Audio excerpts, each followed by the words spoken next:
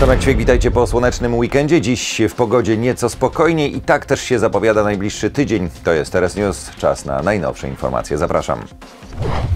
Halina Szymańska została szefową kancelarii Andrzeja Dudy. To była burmistrz Łobza, obecnie radna zachodniopomorskiego sejmiku. Szymańska zastąpi na stanowisku Małgorzatę Sadurską. Andrzej Duda powołał w poniedziałek także Pawła Muchę, radnego zachodniopomorskiego sejmiku, na pełnomocnika prezydenta do spraw referendum konstytucyjnego. Napad w centrum Szczecina. Mężczyzna stracił torbę, w której było około 100 tysięcy złotych. Do zdarzenia doszło w czwartek w biały dzień w centrum miasta przy kantorze na Placu Lotników. Sprawą zajmuje się prokuratura i na razie nie udziela szczegółowych informacji informacji. Okradziony mężczyzna prowadzi handel w Lubieszynie przy granicy polsko-niemieckiej, a także zajmuje się nieruchomościami nad morzem.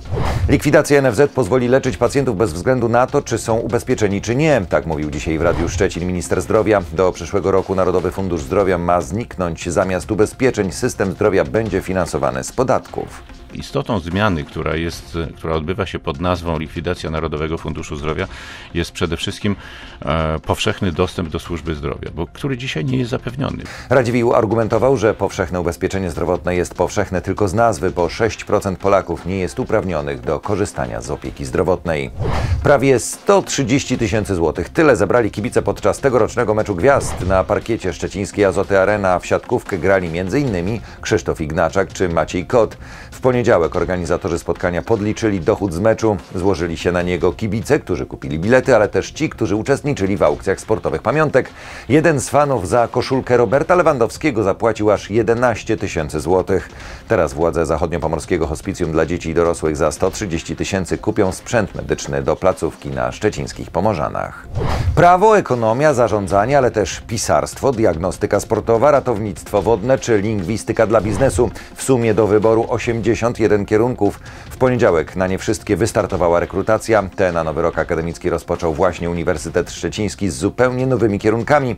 Na studentów czeka prawie 10 tysięcy miejsc. Marcin Zieliński, trzecim zawodnikiem w Europie. Motorowodniak ze Szczecina zdobył brązowy medal podczas mistrzostw, które odbyły się w Chodzieży. W kategorii O700 nazywanej Formułą 1 na wodzie Szczecinianina wyprzedzili tylko Austriak Attila Havas i Słowak Marian Jung. Gratulujemy! Noc ciepła do 13 kresek, we wtorek na termometrach od 18 do 21. Nad morzem mogą pojawić się przelotne opady deszczu. Poza tym zapowiada się ciepły, zwyczajnie ładny i mamy nadzieję udany dzień.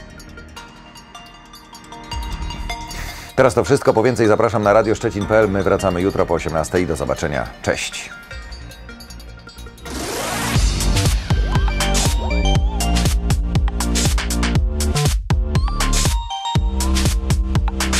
Radio Szczecin.